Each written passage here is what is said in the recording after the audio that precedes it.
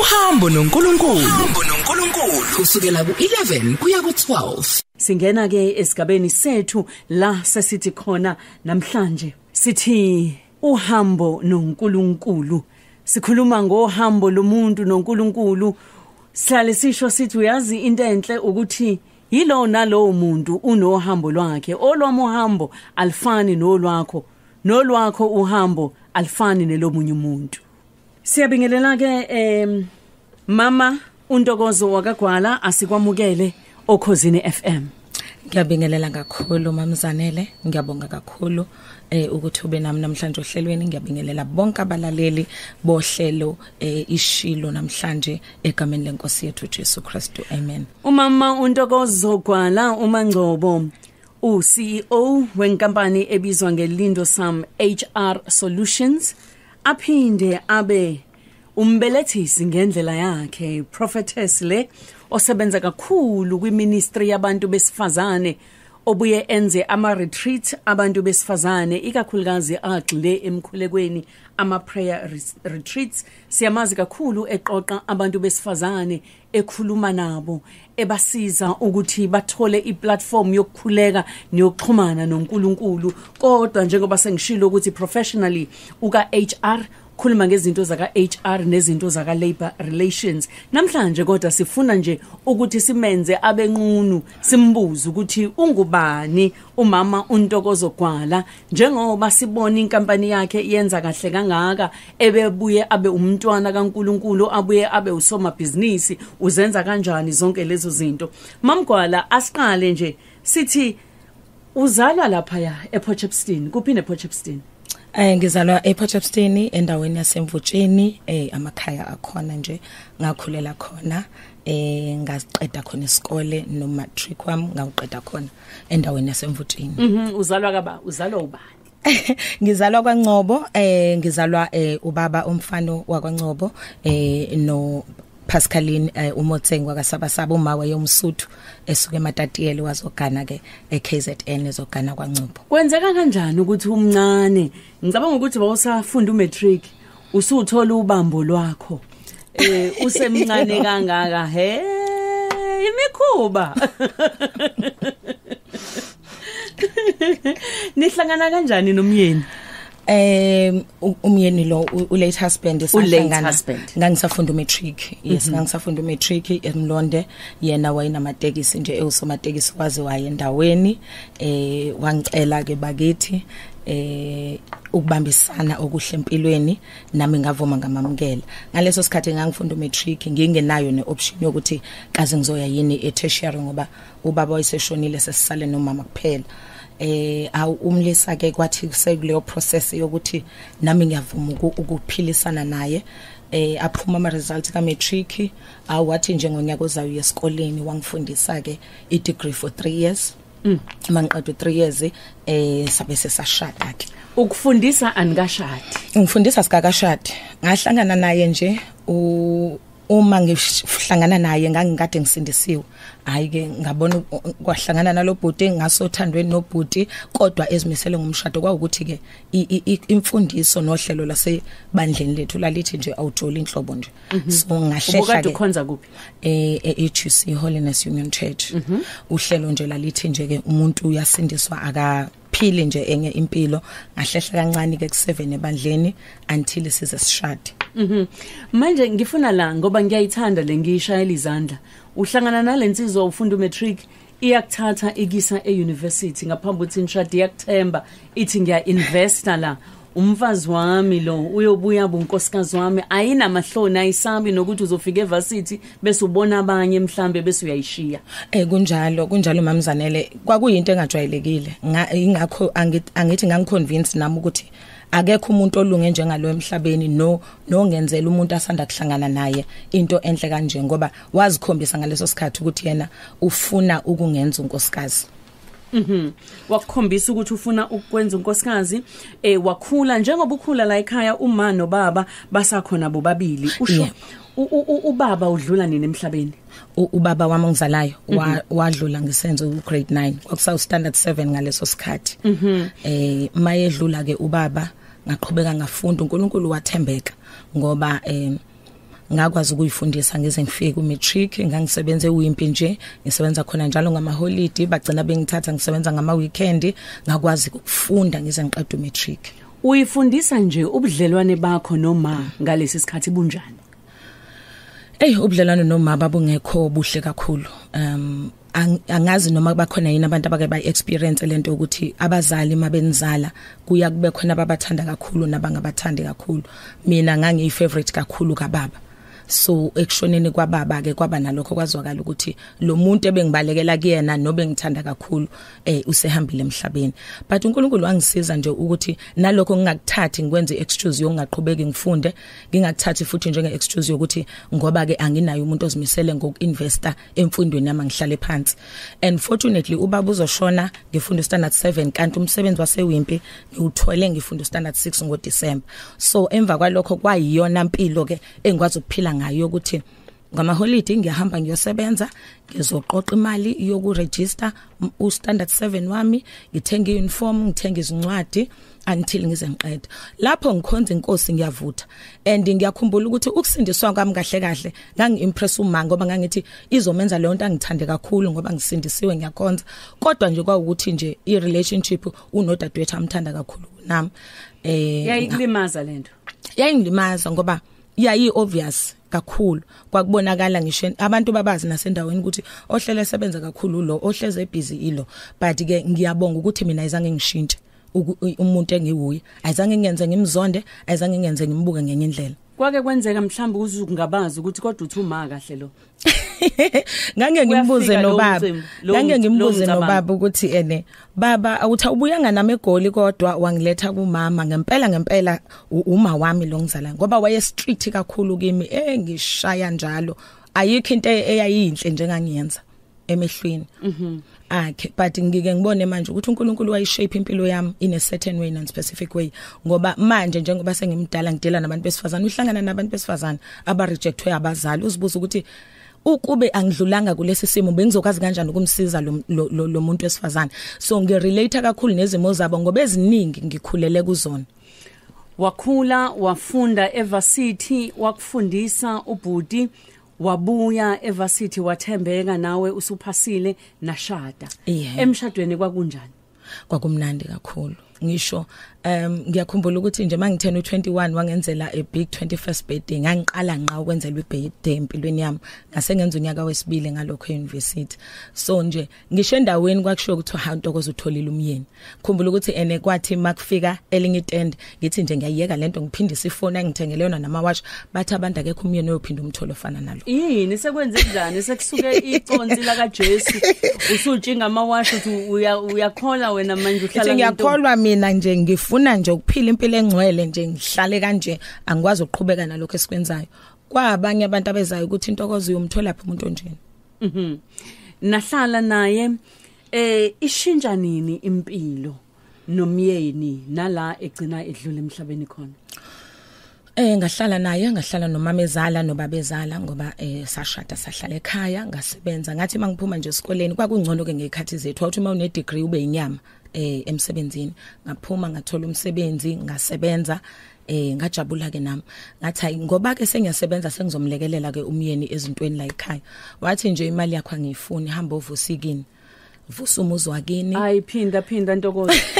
Ba- ba- ba- balalela abantu besifazane. Balalela abantu besifazane. Abantu besifazane anibhalela ka Facebook niyizwa lento ufundisiwe wayiswe varsity ningakashadi nokushada. Yeah. wafunda u3 years waphasa wabuya.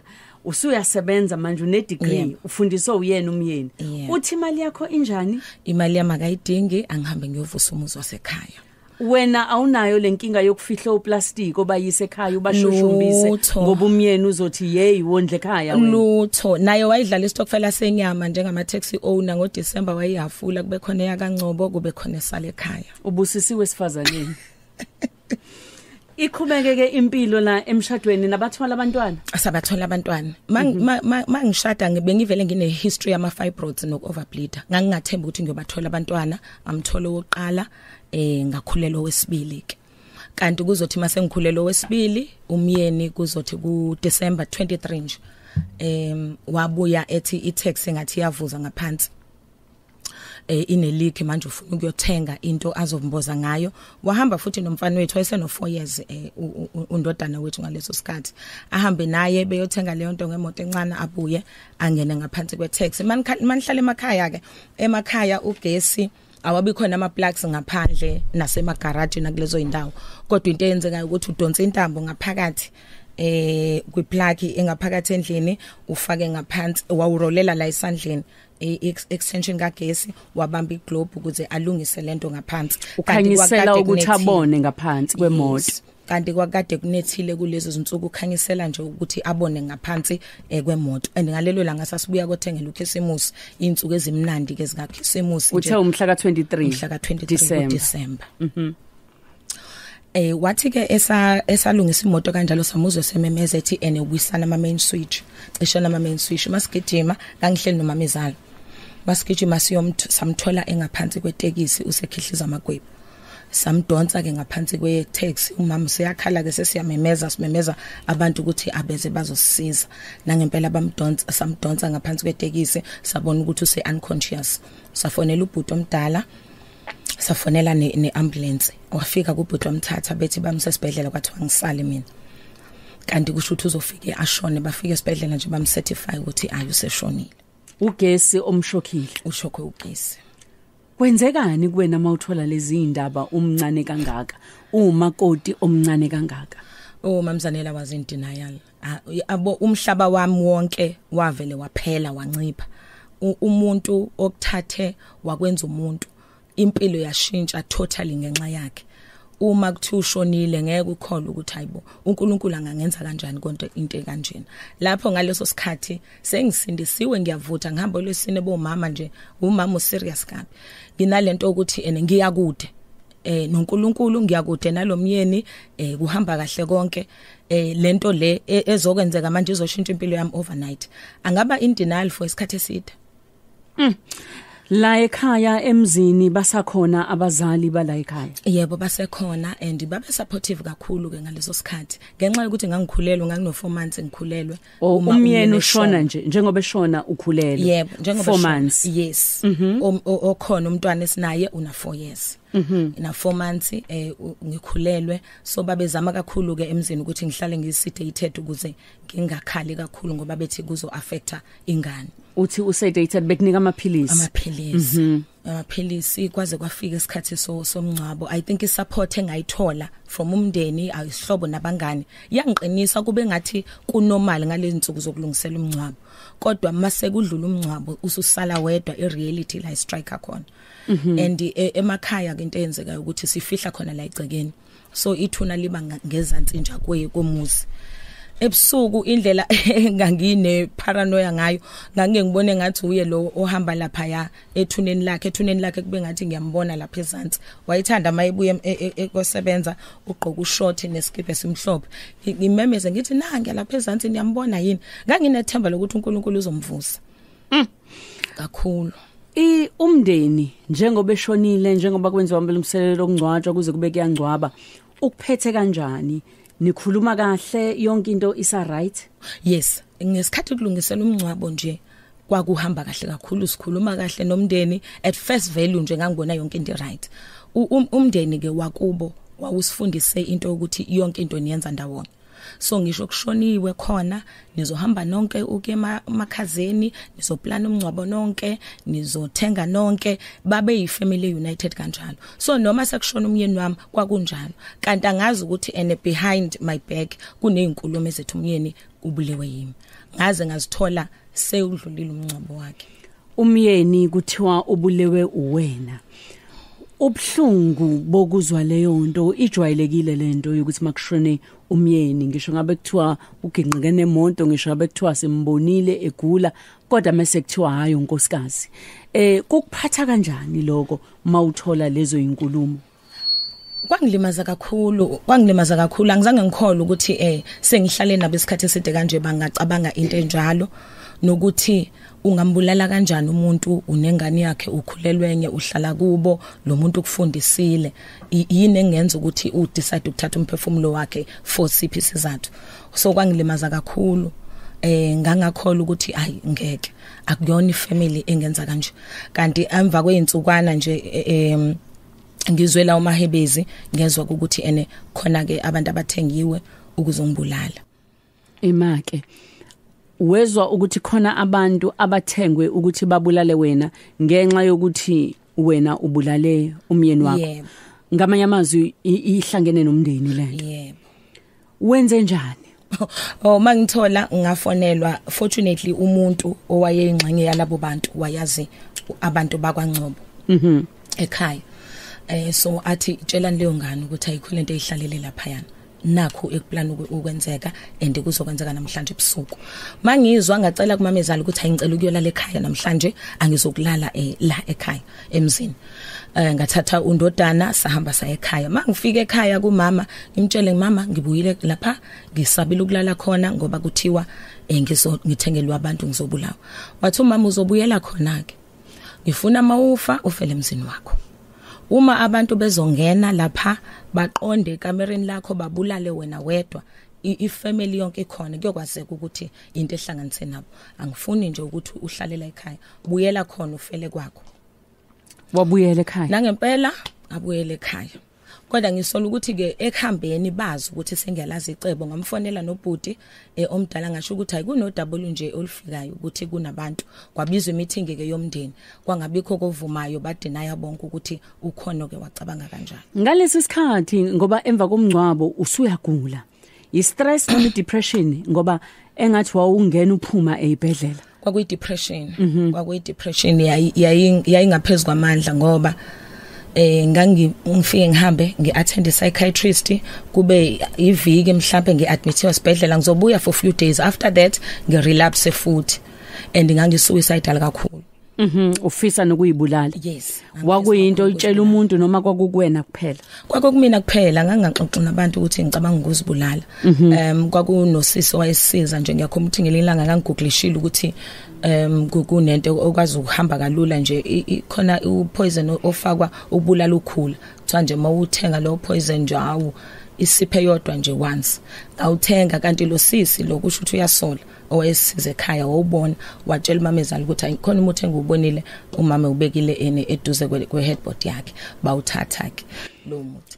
Ngangi ngangicabanga iyona into Wasizwa engangicabanga deni. umuntu okusizayo wabona into waba neso wakwazi ukususa asazi Yes. ngabe kwenzekani ukuba mhlambe akazange azawususe. Ngaleso sikhathi usebenzaphi ngaleso sikhathi ngangilecturisha eFT College. Mhm. Um as much as ngangisebenza i think nje u- u- uma umuntu usuhlale naye iminyaka futhi umthanda nishadile usuke ungayiboni ngempilo ngaphandle kwakhe. Uma ehamba lo muntu kube ngathi khambile ingxenye yempilo yakho.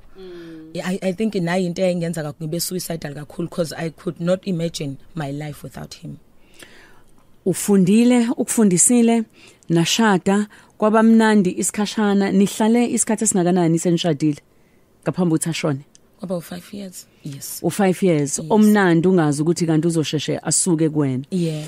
Em usune depression kodwa ke ubusixoxele ukuthi njengoba eshona umyeni wakho uzithwele ukhulelwe eh ingane inezinyanga eziwu4 kwenzekani manje ngengane njengoba ukhulelwe nje njengoba une depression njengoba usuicidal? Kwenzekani ngengane?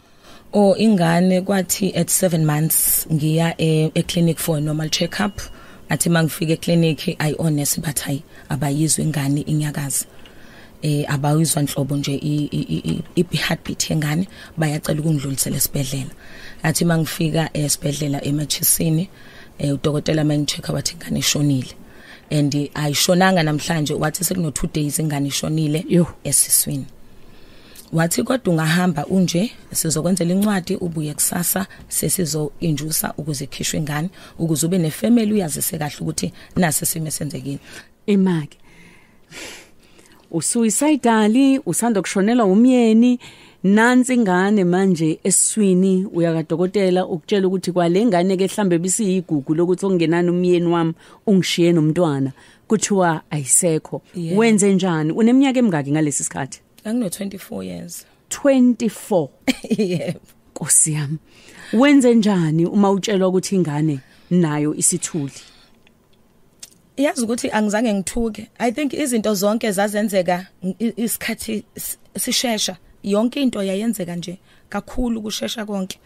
Nga- ngangivele nginambo so mathiwa ingane ishonile ah ungaphuma futhi esibhedlela ngadrive imoto ngazibuyelela ekhaya. Uthi unambo kusho ukuthi akusakhaleki akusa konke kuyafana nje. Kuyafana nje vele angisiboni isizathu sempilo. So nje noma ngabe kwenzekani nje ifise ngathi ngathola ithuba nje ngibe ngedwa ngiqeda vele lempilo kwathiwa ingane ayisekho kwathiwa ngimangaza ukuthi uthi uthi udokotela isishone izinsuku ezimbili ihleli esiswini kodwa uthi goduka uye ekhaya uyotshela umndeni. Yebo. Uma ufika ekhaya kwenzekani? Ngafike ngabatshela ekhaya ukuthi ingane kuthiwa isishonile and isino 2 days ishonile. Ayi umamezala wathi ngeke ulunge phela ukuthi silale nawe la ekhaya. Usunengane eshonile eswini kungcono sikubuyisele khona esibhedlela. Bakinjuse ke kube singane yafihlwa. Nangempela ke bangibuyisele esibhedlela ngabuyela khona futhi esibhedlela ke nga-admitwa wa admitwa esibhedlela eh kwenzekani uma ngabe sekufanele kukhishwe ingane? Be- kwe- kwe- kwenziwa kanjani? U- uye labor ward njengomuntu ozobeletha ingane ephilayo noma kuhlukile uma ngabe umuntu kulesi simo sakho? Ku kuyafana. U- uyobelethe ephilayo uyobelethe eshonile nonke ningene labor ward Nkosi yami. Eh I, i think that was a lesson learned ngoba ngangakaze ngicabanga ukuthi vele niyahlanganiswa ngoba phela mina ngiyazi ukuthi angizi kobeletha ingane ephilayo. Kodwa nje ufake labor ward nabantu besifazane aba expectile izingane zabo aba happy futhi ukuthi bazobeletha. Ufake kwakho umbhede la bayaxoxa abantu besifazane abantu besifazane mabehlangene bayaxoxa. Bayalethelwa ama fruits bayalethelwa ama juice bayalethelwa lokhu. Awuwena into ozobeletha la ngizobeletha ingane entombazane eh hawu uphi baba uyasebenza kekho ngoba ngangingaboni nje ukuthi ngizokwa ngise ngingakwazi ukuxoxa istory sami. Ngangizosho kanjani ukuthi ngishonelwe umyeni? Manje sekushone nengane? I- ngathi nje inyanga ngizobeletha. eyingaki emva kokushona kababa njengoba Three kuthula ingane? Months, kwaku 3 months ngoba 3 months ungcwabe umyeni wakho. Yebo. Yo ungena elabor ward ufake nawe igown njengabo bonke uhlale uzwe bekhuluma ngeingane zabo bejabule uyazi wena ukuthi uzobeletha ingane ethuli yebo. Safika isikhathi wayibeletha? Safika isikhathi ngamcela udokotela ukuthi ngicela bavele bangihlinze nje eh, ukuze ngibelethe ingane uya injuswa ke kunephilisi oluphuziswayo ukuze li- kube yilona eli elisusa ama labor pains. Ngathi nje dokotela ngiyacela ukuthi ning operate nikhiphe ingane ngoba ngeke ngikwazi phela ukuze ngigowe through i labor for umntwana ongasekho. Um udokotela athi ngeke sikwazi ukwenza isikase engane ongeke uyiphathe sizokinjusa uzosibelethela ingane. Abake bayeke labor ward uma ubeletha kuphusha wena kuphushe nengane ukuze ingane iphume. Kodwa uma eh, ingane isithule kuba wena kuphela ophushayo ukuze ingane iphume. So ipain yakhona iba doubled and ne labor period iba yinde. Nkosi yami iyaba yinde kangakanani? I was in labor for 16 hours. 16 hours? Yes 16 hours? Yes. from kuthini isikhathi kuwena sokunjuswa ama period pains to beletha lobo buhlungu obuzwayo wazi kahle ukuthi uzokhipha ingane efile uzokhipha ingane ethule. Kuthini kuwena ngalesi sikhathi? Ikhona into ekhona noma awusena ndaba nalutho? Eh mamzanele angazi noma ukhona yini umlaleli ekhaya okayizwe lento ukuzwe into yokwehlelwa iyona yonke into uzo- uzocabanga ukuthi kusho ukuthi uNkulunkulu akangifuni. uJobe. uNkulunkulu akangithanda uNkulunkulu akanendaba nami. uNkulunkulu akakwazi ukuzwisa umuntu amthandayo ubhlungu obungaka. Kuko konke kwasekuphele ngisho ukuthandaza kwasekuphele ngisho ihubo. Nganginento ethi nje kusho ukuthi vele kwasesizalweni sami ngazondwa. Ngoba into enjalo noma ngabe usubuprogress kangakanani ngempilo uma sowehlelwa ilezo zinto kuvele kubuye nendlela okhule ngayo. Ukuthi kusho ukuthi angidalela ukujabula lo muntu nje kusho ukuthi wayilethela ukungijabulisa iminyakana. Manje leyo njabula iyaphela and I'm back to square one. Yo bakithi ukhozo olumaphiko phiko lolu uhlelo uhambo noNkulunkulu uhlelo lethu eshilo liqala ngo9 kuya ku12 uhlelo nozanele wakambokazi. Ngalesi sikhathi sinontokozo umangcobo wakagwala okuyena esilalele uhambo lwakhe. Namba abalaleli bami babhalile abanye basithumelele nama voice note. Ake sibeze ukuthi bathini. Uhambo noNkulunkulu. Uhambo noNkulunkulu. Kusukela ku11 kuya ku12 Eh sesumbo sesimo mambo mambokazi hayi le ndaba ekhulunywa yilo mama iyafana nse neyami. Umama wayengirejecta ngalendlela nami ngangithanda ubaba. Kwathi ngahamba ubaba nje vele kodwa ngithiwa ngisiza ngokungirejecta ngoba izinto enginazo kuba wangidodosa ngabe anginalutho. Mamzanele lapho ohambweni elikhona namhlanje nomama ugwala. Hayi hayi hayi hayi. Kabe balalela usisi njalo bekhuthazeke inkosi yami. Yazi ngiyamangala ukuthi khona umuntu othembeke njengalo mama okwazi ukuya esikoleni afika ayiphathe kahle azabuya azoshada nalo muntu amfundisi inkosi izikubusise wemama siyabonga usukhulumile mhlambe kwenzile umehluko kweinganeni esakhulayo njengamanje. Siyabonga siyabonga. uTimothy lona ekhaya kusemtube edube lenkunzi ngila emangethe njengamanje kwesikamcambi isigodi emandeni. Angibingelele shilo ngiyakubingelela mazet mambokazi ngibingelela no sisintokozo umhlobo wami lo omkhulu eh ngimthanda ngenhliziyo emangalisayo. Eh kusisintokozo nje le story sakhe namhlanje khathi ngisithola kangcono ukusiza ukuthi oh kanti sahamba kanje istory usisitokozo eh ngiqala ukumuzwa echaza ngodaba lokwedlula kwakhe emhlabeni okuhlukumezeka kandlula khona eze ihamba yako Cape Town. Ngiyalwazi udaba likaSintokozo ngafunda uNkulunkulu ngezinto azenza kumuntu kanti uNkulunkulu yena ufuna ukumsebenzisa ekuguquleni impilo zabantu. uNtokozo uphethe ibalsam lomhlaba wonke. Ngemessage anayo. uNkulunkulu simfunda ke nangezimo esingenizwa kuzo ukuze abantu bafunde kithi. Ngiyabonga kakhulu mamzanele ukuthi ulethe eh lencikazi eh umagwala. Ngiyabonga ukuthi uyilethe emsakazweni ukuthi izosakha silo zodaba lwayo bukhoma isibusise empilweni zethu kakhulu kumina nje kuningi engikufundile kuyentokozo ngithi nje sisitokozo qhubeka ugijime utshele izwe emhlabeni wonke uwina abantu. Eh udoba abantu udoba inhlanzi ngobufakazi obuhlungu wandlula kubona. Ngiyabonga kakhulu ke igama lami nkululeko kwakwakhanya isibongo. Hashtag ukhozi FM siyadumisa nozanele mbokazi eshilo. Yo nkosi yami sisintokozo. Yazi ngavele ngangena ey'cathulweni zakho. Yazi ngavele ngawuwena. Ngayifila le peyini engingakaze ngiyifile kodwa ngavele ngayifila ukuthi ngabe mhlazane ngifikela nkosi yami mina uyokhona yini ukungithwala? Uyonginika ni lamandla oke wawanikeza usisintokozo? Ya ya ya ya. Uyisibonelo uyi-role model ukuthi nangelinye ilanga uma singena sidibana nezimo ey'fana nalezo-ke wadibana nazo siqine siwakhumbule la mazwi osipha sona osipha wona namhlanje. Ya ngiyabonga siswami unkulunkulu ekuqinise njalo nje ume unomusa wakadlamini ngila e-drive supersand ekrugersdorp ngiyabonga ekhaya kulapha mkhonde sinongwane Eh sawubona mambokazi.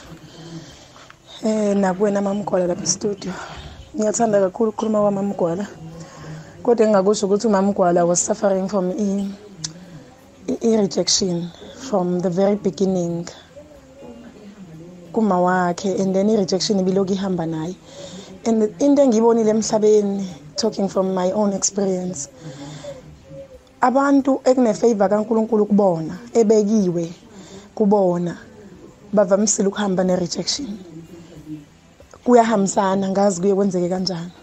But emuhle ujehova uthi thina singaphezulu kwabanqobi. Ngiyabonga nginawo amaningi mamgwala nawe mambokazi ngiyabonga. Thina singaphezulu kwabanqobi ngalesi sikhathi imzuzu ishumi nesishiyagalombili ngaphambi kokuthi kushaye ihora leshumi nambili ukhozi olulalele ngalesi sikhathi uzanele wakambokazi sithi eshilo kanti ngalesi sikhathi kusukela njalo nje uma zithi 11 kuya ku12 suke sesithi uhambo noNkulunkulu. Ngikhona ukuthi balalele balolu hlelo niyafunda niyakhula njalo mawulalela umuntu uyibuka wena. Uyi uzusho ukuthi ayazi bengithi ngineyinkinga. Uma ngabe ukuthi omama ugwala bakwazi ukuma kunje nengane eswini esithuli eh beshonelwa abayeni bebancane nako konke lokadlule kona kushuthi nami ngingakwazi ukuthi ngime. Mama ugwala wa wa wa- wabeletha waphuma esibhedlela eh nayifihla ingane kwadlula lokho waqhubeka kuloku in and out ezibhedlela ungena uphuma ngoba ugula kwenzekani ngaphandle njengoba uloku ungena ezibhedlela nje wena Eh ngaphandle kuyasho phela ukuthi olahlekelwe untokozo kwabanye impilo yayiqhubeka. Eh umyeni wayishila amatekisi ke. Eh mangiphuma esibhedlela I think ekusho emva kokushona kwengane. Ake bangilanda basemzini sayifihla ingane. Emva kwalokho ngathola ukuthi ngesikhathi mina ngingena ngiphuma esibhedlela kuclaimiwe ama life cover omyeni. kunencwadi okwazi ukuyi-applyela i-letter of executorship ukwengamela i-estate yomuntu and i-background wayona ngenxa yokuthi mina i was mentally unstable to handle business affairs ngamanye amazwi wena kuthiwa ngokomqondo awukulungele ukuthi ungakwazi ukuphatha lezi indaba zezomcebo ngamanye Yebo, amazwi. so bakwazi ukuthi ba-applye ungekho wena bayithole noma kuwumyeni wakho. Yebo. So baclaim ama policies yebo. Yo amatekisi kwenzekani ngawo? Amatekisi nawo kwahamba nje izinyanga ezimbalwa nawo bagcina bewathathile. Nakhona lapho kwathiwa ngeke ukwazi ukwaphatha yebo. And enye into okwakuyisizathu kwakuthiwa ngisemncane kakhulu ngisazoshada vele ngithola omunye umyeni angeke akwazi ukudla amafa ala ekhaya and babeqinisile vele i was mentally unstable. Khona izinto ezithi mazikwehlela i-reality isho ukuthi you are mentally unstable vele. Two awunayo i-backup. Bayakwazi nawo ukuthi usho vele ukuthini ukuthi awunayo i-backup? Akekho umuntu ongakhulumela akekho umuntu ongakulwela. Ngakini? Ngasohlangothini lwasekhaya? Yebo. Akekho umuntu ozokwazi ukukumela. Akekho nje umuntu ozokwazi ukumela akukho athi yini leni bhuti. yenza ntokozo? Akukho bhudi noma malume ozothi Lutho. ningadlali ngengane kasisi. They were a powerful family. Yabo ifamily mayirich endaweni eh besatshwa futhi behlonishwa kakhulu.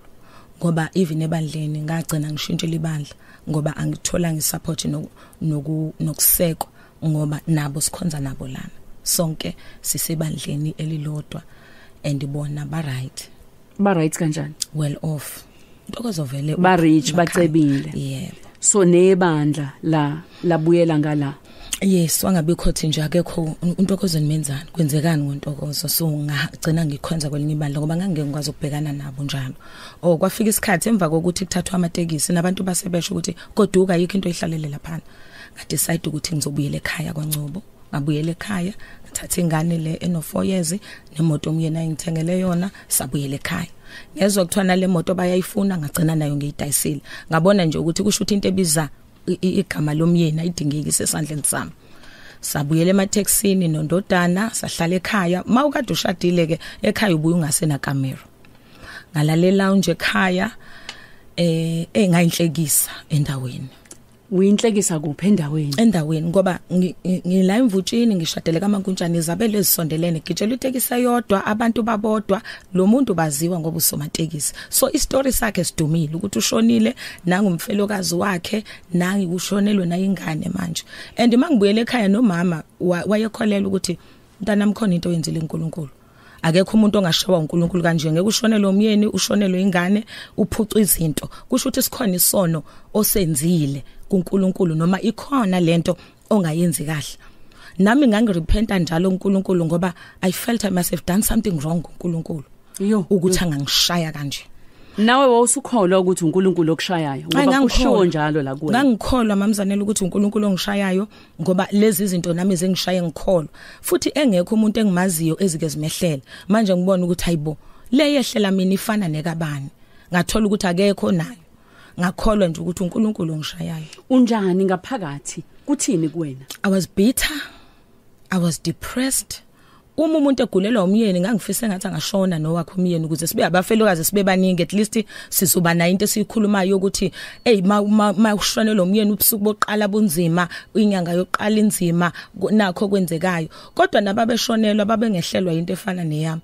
Gcine ngibona lapho ukuthi kusho ukuthi eyami indlela ayifani neyomuntu.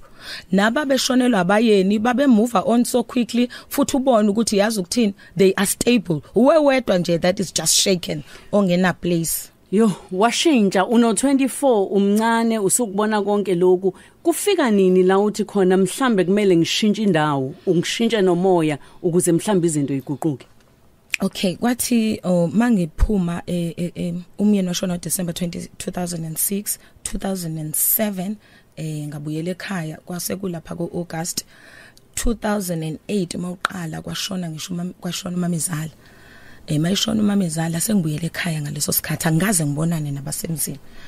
Eh ku- kube nomunye umakoto wayesindisiwe naye emzini athi intokozo isona sikhathi sokukhombisa ukukholwa ke lesi. Uzoya kongcwaba umamezala wakho. Uzoba umakoti lapha.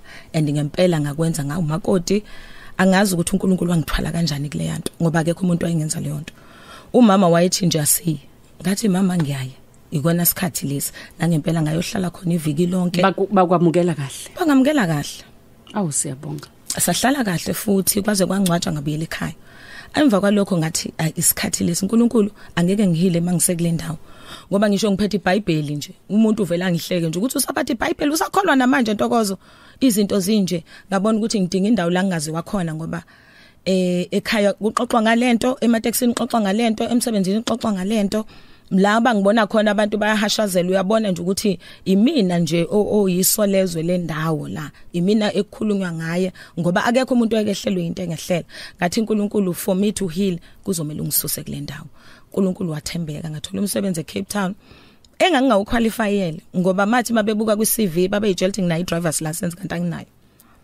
Kanti i-requirement yayithi kufanele ube ne-driver's license amuvele eCape Town mangifika khona ngasettlisha ngihamba nengane yami and ngaqala ke manje ngawuntokozo ngahlala phakathi kwabantu abangasazi isitori sami. Ngahlala kubantu abangayazi pain yami eh abangazi history njengami ngakwazi nje ukuyi-identifya ngiwuntokozo nje. Kodwa ke ikhona lento uthi angizazi noma ngithi ngishadile noma ngishadile noma ngiyiwido noma ngiyona. Eh ngakhonza futhi ngaqhubeka ngakhonza uNkulunkulu. Lapho ngangidecide mamzanele ukuthi mangiye Cape Town ngiyophila ngibe untokozo. Ngiyoqala impilo entsha ngiyoyiphilela noma kanjani. Abantu abangangami nje baphila kamnandi kabi bayenza yonke into abayithandayo. But God wouldn't allow me. E Cape Town ila ngafika ngayo more closer to God. Wakulanda uNkulunkulu wakubuyisa wathi iassignment yakho ayikapheli. Waqhubeka ke wakhonza kakhulu ususe Cape Town. Em u- ubuya nini ekhaya? Ukubuya ekhaya ngizovakasha ngabuya ngawo unyaka lo ka2008 kodwa ngangibuya nje phakathi makuvalwa izikole ngizoletha undodana ngimshiye ngiphinde ngibuye ngizomlanda. Kodwa ke mamzanele okunye ngithanda nje ukusho ukuthi ekuhambeni kwami ngeCape Town vele from 2006 I've never ngayeka nje ukucelebrate ukhisimusi noNew Year ngoba umyeni wangcwatshwa ngomhla ka31 December.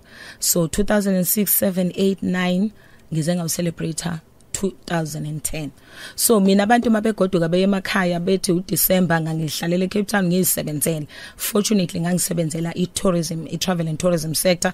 Vele iba busy ngoDecember so ngangihlalele. Inhliziyo ebhlungu ngoba lesikhathi sika Christmas nesika eh December 31 sikukhumbuza izinsuku ezibhlungu kodwa ke ngoba nakho isikhathi sethu sasimi kanjena eh wagcina upholile. uNkulunkulu moyingcwele wasebenza kuwena wagcina upholile. Namhlanje sikubona uphethe inkampani enkulu sikubona futhi ukhuluma nabantu besifazane. Ngaphambi ukuthi usitshele lokho ngifuna ukwazi ukuthi umthola nini umkhwenyana omusha ngoba ikhona iringi lapha esandleni sakho okusho ukuthi kuhambe kwahamba kwabuye kwalunga. Nihlangana nini nomkhwenyana omusha? Eh ubaba ugola ngahlangana naye ngo2014 waqala ukungiapproach ngo2014 lapho nje sengihilile ngiyuntokozo ngiphila kahle um nasekhaya futhi ku right eh ngiwuntokozo nje oyintombazane manje ngi- ngihappy ngokuba single. Angisasabi futhi ukuyi-identify as a single person. Eh ngikhonza uJesu eh sengiyahamba ngishumayela ngiwi traveling ministry. Eh and then ubaba ugwala ke kusho ukuthi wangibona in one of the posters ngangishumayela olundi wafuna ke lo muntu wesifazane. Eh uNkulunkulu wasihlanganisa in a very mysterious way ngoba uthi wabona iposter nje abafana engangiyoshumayela umfundisi engangiyoshumayela enkonzweni yakhe abafana babeseva kulelo bandla. So bayifaka iposter eroomini uthi nje wathi ethandaza kwathi wahamba uye kulela kamera ufika uthatha iposter esodongeni wayibheka wathi mayithi iposter akazi umuntu la kwathiwa nangunkosikazi wakho. Uthi emva kwalokho athi angimazi lo muntu ngizomtholaphi owakuphi. Aqaleke ahlanganisa abantu ababe kuleyo nkonzo ke azegcine ngitholile. Wangi approacha ngathi no koqala wangi approacha kwesibili ngathi umuntu wabantu ngibhizi kabi mina ngase ngenza iMBA ngaleso sikhathi. Ngiyafunda akunaso nje isikhathi somshado. Hey ngaqala ke nganama visions emva kwalokho. Ngathi angizinike isikhathi ke ngimkhulekele lo muntu ozile and uNkulunkulu wawu confirm umshado wethu. Eh sashada ke nobaba ugwala ngo 2016 nashada nobaba ugwala ngo2016 wahila ngokuphelele waphola enhlizweni ngoba ezinye inkinga omunye umuntu kathi kunzima kulomshado engikuwona ngoba awuvalekanga kahle lo wamnyango ongemuva. Mm. wena wagcina usekuhileke kahle usuphole kahle wakwazi ukuthi ungene kagwala khaxa yebo mamzanele. Into nje engangine fear yayo eyodwa ukuthi uNkulunkulu unganginiki umyeni futhi aphinde ashone. Eh angashoni ke nalo. Ingakho ngafuna ukushada. Mongcele umyeni wakho kosekusa kwi destiny yakho le. Na ngempela sashada nobaba ugwala saba happy. And kwi history yami ngangazi ukuthi ngingisabathola abantwana ngoba ngake nganenkinga yesibeletho kodwa sinomntwana nobaba ugwala uzothena u4 nje manje ngo July. Iminyaka mingaki imshadile manje. Oka 7 lo nyaka sishadile. Wasi uyabona ukuthi awukwazi ukuthula.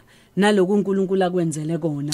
Wazizwa eh kunesikhalo ngaphandle sokuthi baningi abantu besifazane abangena kulezi zimo ba reject abazali bashonelwa abayeni bakuthiwe babulela abayeni bangene nje kuzo zonke lezi zinto. Wathi cha mina ngizobabiza abantu besifazane ngibabize ngibanikeze ama retreat la sizokhuluma khona ngalezi zinto siphinde sikhuleke sitshele ngalama retreat owenzayo. Okay yebo mamzanele eh engingakusho nje kumlaleli kakhulu kubalulekile uxoxa istory sakho from a point of victory.